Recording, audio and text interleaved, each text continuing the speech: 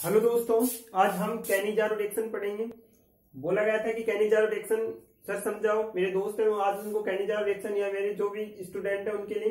क्या होता है, इसकी जनरल रिएक्शन में फोर वैल्डिहाइड है, वो पोटेशियम हाइड्रोक्साइड के साथ रिएक्शन करता है क्या बनता है मैथिनोल का फॉर्मेशन करता है, और पोटेशियम फॉर्मेट का निर्माण करता है। ये थी इसकी जनरल रिएक्शन हम इसको मैकेनिज्म के द्वारा अच्छे से समझ सकते हैं। तो मैकेनिज्म के द्वारा कैसे देखिए सर फ़र्स्ट स्टेप में क्या होगा? जो पोटेशियम हाइड्रोक्साइड है ना, ये वाला, ये क्या होगा? क्लेवेज होगा मतलब टूट जाएगा। K positive O H negative ion में तो K positive O H negative ion में टूटेगा। अब इसके बाद क्या होता है कि हमारे पास फोर्म एल्डिहाइड था। फोर्म एल्डिहाइड के एक अणु के साथ हाइड्रोक्सी ग्रुप क्या करता है? रिएक्शन करता है। यहाँ पे रिएक्शन करेगा। तो यहाँ पे ये नेगेटिव चार्ज है, ये इसके साथ अटैचमेंट होगा मतलब इसके ऊपर आक्रमण करेगा।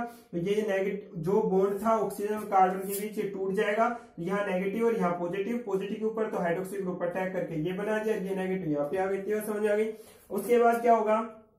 अभी ये ऑक्सीजन अपने इलेक्ट्रॉन किसको देगा? कार्बन का। तो कार्बन को इलेक्ट्रॉन देगा तो डबल बॉन्ड का निर्माण करेगा। तो ये H प्लस आयन क्या हो गया? रिमूव हो गया। तो इसका निर्माण हुआ तो H plus ion H negative ion क्या हो गया? बाहर हो गया। अब H नेगेटिव आयन बाहर हुआ, उसके बाद क्या होता है कि अगला अगला जो फॉर्मेल्डिहाइड का जो दूसरा अणु था, वो क्या करेगा? इस एच नेगेटिव के साथ रिएक्शन करेगा।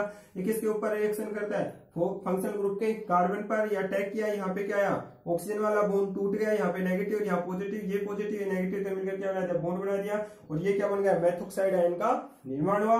अब मैथोक्साइड आयन ये वाला और ये वाला, दोनों आपस में क्या करते हैं? रिएक्शन करते हैं। तो यहाँ पे नेगेटिव चार्ज यहाँ से H क्या होगा? रिंग होगा। ये H तो इसके साथ रिएक्शन करेगा। तो क्या बना देगा? मैथेनोल का फॉर्मेशन हुआ। और यहाँ पे क्या बचेगा? H सी ओ नेगेटिव अब एच सी ओ नेगेटिव है। यहाँ नेगेटिव है। अब पहले देखो हमने के के ओ एच का टूटा था। उसमें क्या होता है? के पॉजिटिव ओ एच नेगेटिव में टूटा था। तो ये के पॉजिटिव इसके साथ रिएक्शन करता है तो क्या बना देता है? पोटेशियम फॉर्मेट का निर्माण करता है। ये क्या करता है? इसको क्या बोलते हैं? कैनिजारो रिएक्शन फिर भी नहीं समझ आया है तो कमेंट के द्वारा मुझे बताएँ और अपने दोस्तों को शेयर करें। So thanks